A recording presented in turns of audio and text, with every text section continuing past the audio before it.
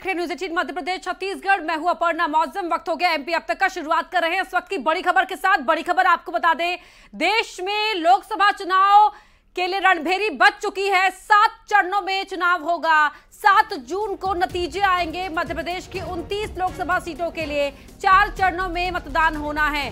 पहले फ़ेज़ में 19 अप्रैल को छह सीटें, दूसरे चरण में 26 अप्रैल को सात सीटें तीसरे फ़ेज़ में सात मई को आठ सीटें और आठ चौथे चरण को 13 मई को आठ सीटों पर वोटिंग होगी।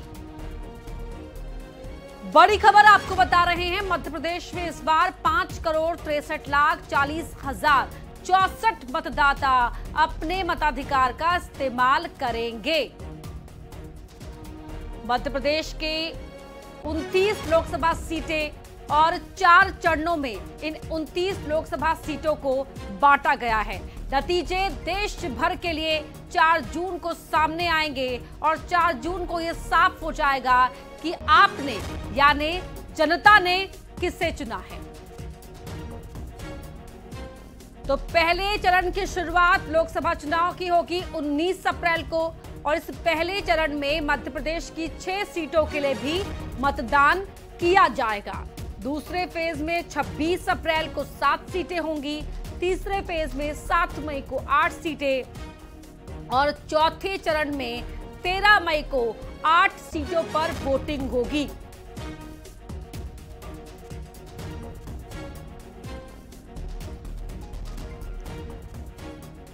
सरकार कौन बनाएगा, इसको लेकर सभी अपने अपने दावे कर रहे हैं, लेकिन बीजेपी ने नारा दिया है 350 पार का। एनडीए के लिए 400 पार का नतीजा का नारा।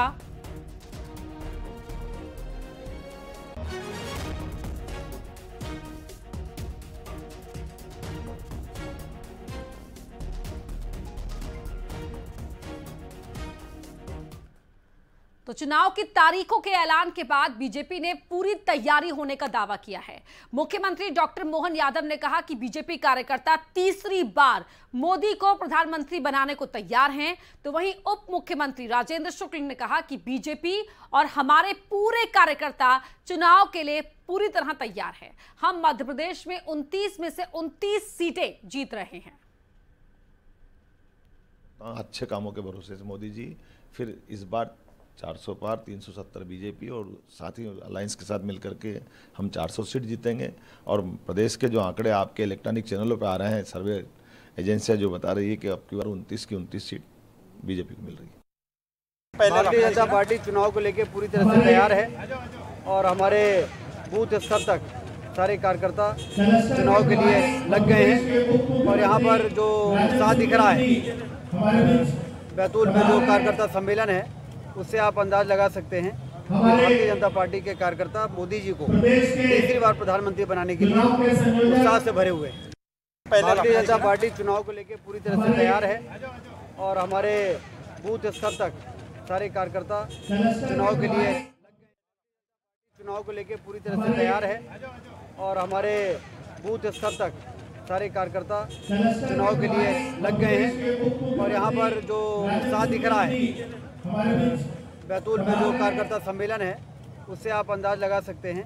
भारतीय जनता पार्टी के कार्यकर्ता मोदी जी को तीसरी बार प्रधानमंत्री बनाने के लिए उत्साह से भरे हुए। हैं तो भाई साहब चुनाव आयोग ने कहा है कि जितने की स्टार प्रचारक हैं उन्हें किसी भी तरह से गलत बातें या गंदी बातें नहीं कहनी। है इसके लिए आप लोग की क्या तैयारी क्या गाइडलाइंस पार्टी ने तय चुनाव आयोग की गाइडलाइंस रहेगी उसका पालन होगा। मध्य प्रदेश में कितनी सीटों का आप ये कर रहे हैं आंकड़ा कि उनतीस की उनतीस सीटें हो पाएगी या क्या होगा? उनतीस में से उनतीस सीटें भारतीय जनता पार्टी जीतेगी। पिछली बार एक सीट हम हारे थे मात्र पैंतीस हज़ार से छिंदवाड़ा। इस बार वो भी जीतेंगे।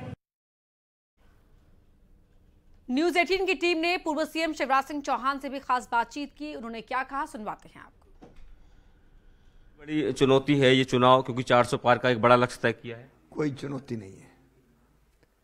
चारों तरफ़ भाजपा के पक्ष में वातावरण है। नरेंद्र मोदी जी जनता के दिल में बसे हैं।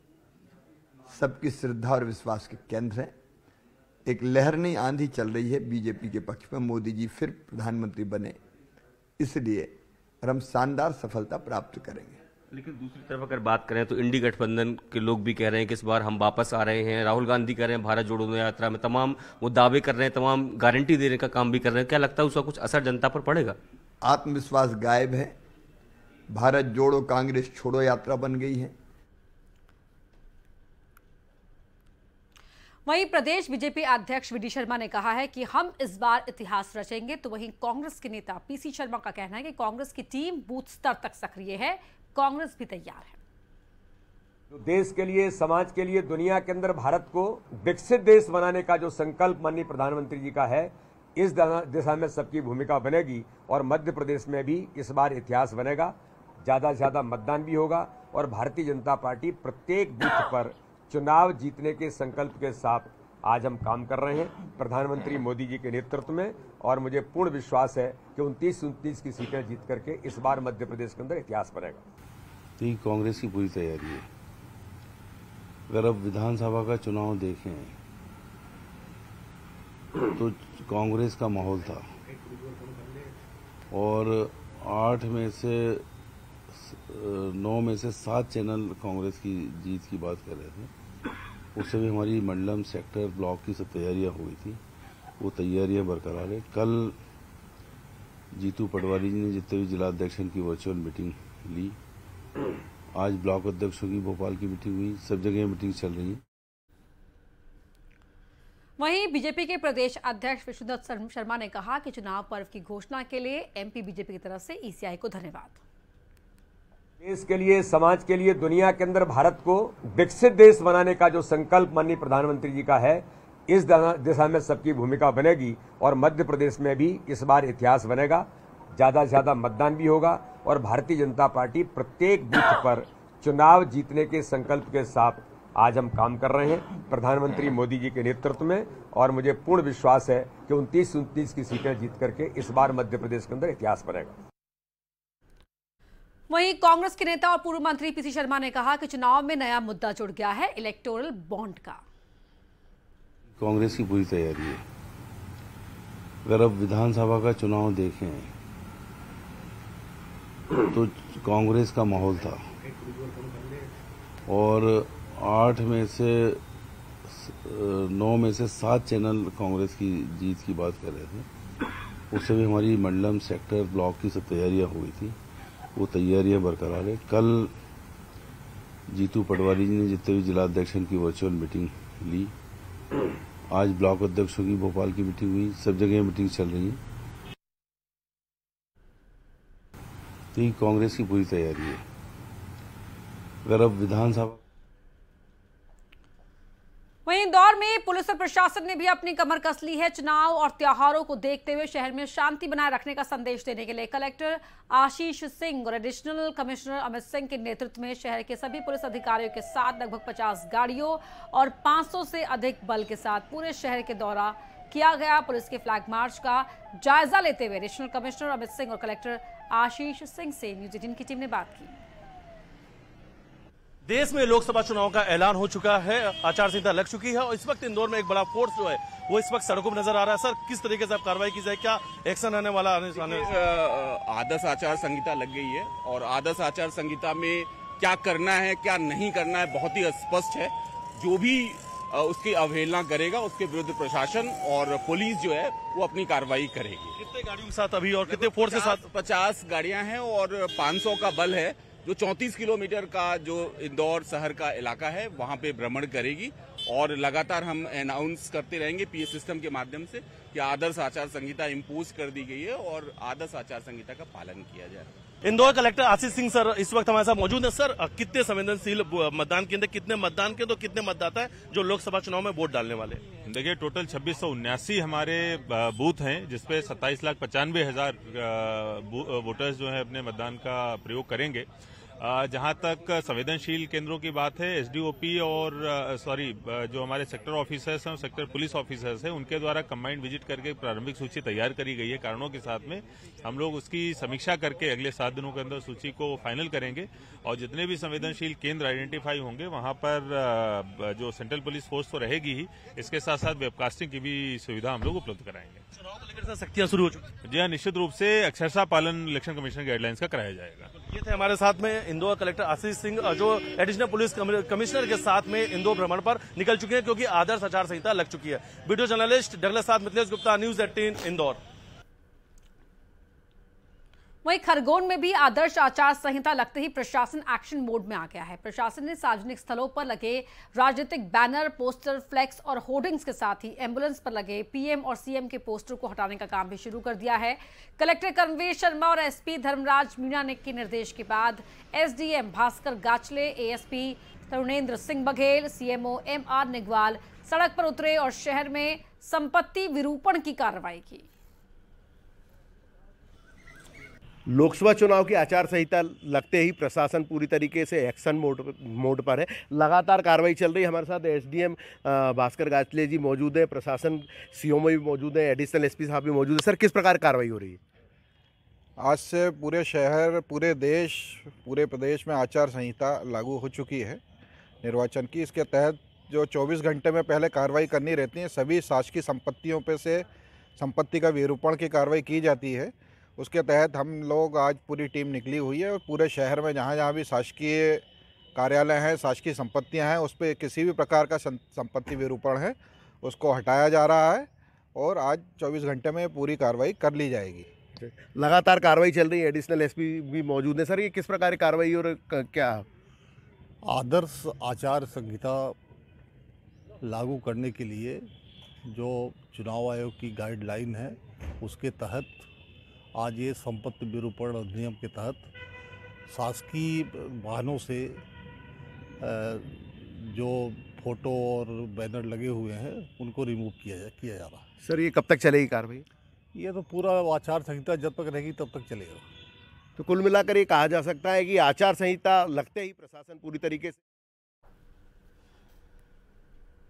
हैदराबाद के विधायक टी राजा सिंह दो दिन से उज्जैन दौरे पर हैं। वो हर साल अपनी संस्था के माध्यम से सामूहिक विवाह करवाते हैं विवाह के पश्चात शादी करने वाले जोड़ों को देश के अलग अलग धार्मिक शहरों में ले जाकर भगवान के दर्शन भी करवाते हैं। इसी कड़ी में वो महाकाल मंदिर के दर्शन करने पहुँचे, जहाँ उनके साथ सेल्फी लेने वालों की भीड़ लग गई। हैदराबाद के गोशा महल विधानसभा क्षेत्र के विधायक टी राजा सिंह ने महाकाल मंदिर के एक किलोमीटर की परिधि में लगने वाली मटन चिकन की दुकानों को हटाने की बात कही। साथ ही बंगाल को लेकर भी विवादित बयान दिया। सामूहिक विवाह समिति के तत्वाधान में हर वर्ष सामूहिक विवाह का कार्यक्रम किया जाता है। तो हर वर्ष किसी ना किसी प्राचीन पुण्य क्षेत्रों के उन जोड़ों को, उनके परिवार के लोगों को दर्शन कराते हैं हम लोग, हमारी समिति के सभी लोग मिलजुल कर। और इस बार उज्जैन महाकाल के दर्शन करने के लिए आए और लगभग बहुत सुंदर ही दर्शन हुए और बहुत ही अच्छी व्यवस्था भी हुई है और आज का कार्यक्रम इस प्रकार से रहा। खबर श्योपुर से जहाँ कृषि उपज मंडी में धर्म कांटे के बजाय छोटे तौल कांटे से खरीदी पर नाराज़ किसानों ने हाईवे पर जाम लगा दिया। हालाँकि अधिकारियों के आश्वासन के बाद जाम को खोल दिया गया लेकिन जाम के दौरान हाईवे पर दोनों ही तरफ़ गाड़ियों की लंबी लंबी कतारें लग गई और वाहन चालकों से लेकर यात्रियों की यात्रियों को परेशानियाँ उठानी पड़ी। को लेकर के विवाद था। जो पहले आ, व्यापारी कांटे पे तुलाई करवाने के बाद में वापस हम वालों से अलग तुलवाई करवा रहे थे। उसको लेकर के विवाद हुआ था। और इसमें प्रशासन से हम लोगों ने बैठ कर के मांग करी कि इन सारे विवादों को सुलझाएँ। अगर इस तरह के विवाद होते रहेंगे तो हम सब किसान संगठन मिलकर के इसका पुरजोर विरोध करेंगे। जबलपुर में कांग्रेस ने बीजेपी के खिलाफ जोरदार प्रदर्शन किया। कांग्रेस ने बीजेपी पर इलेक्टोरल बॉन्ड के ज़रिए चंदा लेने और दूसरी पार्टियों को सीबीआई और ईडी के ज़रिए डराने, धमकाने के आरोप लगाए हैं। मालवीय चौक पर कांग्रेस के पार्षद और संगठन पदाधिकारियों ने नारेबाजी की और बीजेपी के खिलाफ प्रदर्शन किया।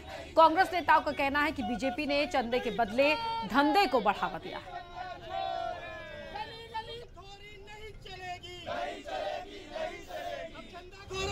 पार्टी भारत देश में एक्सटॉर्शन की ब्रांड एम्बेसडर बन गई है। सीबीआईटी ईडी और कैग को पहुंचाऊँगा, उद्योगपति व्यापारियों को धमकवाऊँगा, मन माफिक चंदा वसूलूँगा। आप देखिए इलेक्ट्रॉल बॉन्ड के माध्यम से जो चंदा उगाई की गई है और जिन कंपनियों से भारी भरकम अरबों खरबों का चंदा लिया भारतीय जनता पार्टी ने वो देश के कहीं ना कहीं अपराधी हैं वो कंपनियाँ, उन पर भ्रष्टाचार के आरोप लगे थे और उन पे ईडी और सीबीआई की जाँच बैठी थी, उन पे बकायदा उन पे छापेमारी हुई थी। वहीं सीधी में राज्यसभा सांसद ने बीजेपी से इस्तीफा दे दिया। अजय प्रताप ने इस्तीफा दिया और पार्टी पर गंभीर आरोप लगाए। टिकट चाह रहे थे अजय प्रताप सीधी से, लेकिन वहाँ टिकट नहीं मिला। तो ऐसे में अब निर्दलीय चुनाव लड़ने का भी ऐलान अजय प्रताप ने कर दिया है। बीजेपी के राज्यसभा सांसद थे। करता हूँ। लेकिन लोकतंत्र में सभी समाजों का प्रतिनिधित्व हो, इस भावना में ज़रूर विश्वास रखता हूँ। और सभी संगठनों को, चाहे राजनीतिक संगठन हो, चाहे गैर राजनीतिक संगठन हो मैं समझता हूँ कि इस बात का ध्यान रखना चाहिए कि सभी समाज का प्रतिनिधित्व हो सके, जिससे कि सभी समाज की बात, सभी समाज के विषय, उनकी भावनाएँ ग्वालियर के पीएचई घोटाले के मास्टरमाइंड हीरालाल लगभग नौ महीने बाद पुलिस के हाथ आया है। पकड़े जाने के बाद उसने खुद को घोटाले से अलग बताकर स्टाफ के ऊपर ही ठीकरा फोड़ दिया। समझा यह भी जा रहा है कि नौ महीने की फरारी के दौरान वो पुलिस और विभाग की जाँच और कार्रवाई से खुद को बचाने का षड्यंत्र कानूनी विशेषज्ञों के साथ मिलकर रच चुका होगा।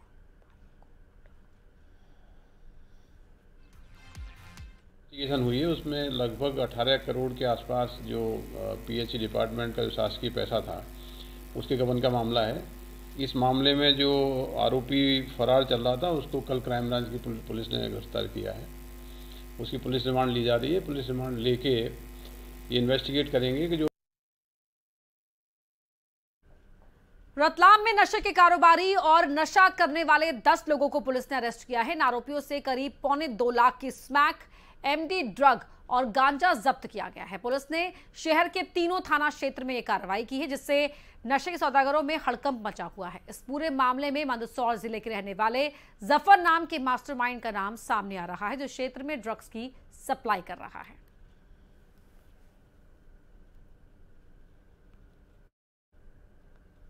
तीन थाना क्षेत्र के स्टेशन रोड में लगभग छह आरोपियों की गिरफ़्तार किया गया है। उसे 25 ग्राम एमडी जो है वो बरामद की गई है, जिसमें से दो लोग जो है वो दलोदा के हैं और बाकी बचे हुए चार लोग जो है वो रतलाम प्रॉपर के रहने वाले हैं। और दो लोगों को जो है वो आइए रतलाम थाना क्षेत्र अंतर्गत राउंड अप किया गया है। ब्राउन शुगर उनसे बरामद हुई है, कुल मिला के पच्चीस ग्राम ब्राउन शुगर जो है वो बरामद हुई है।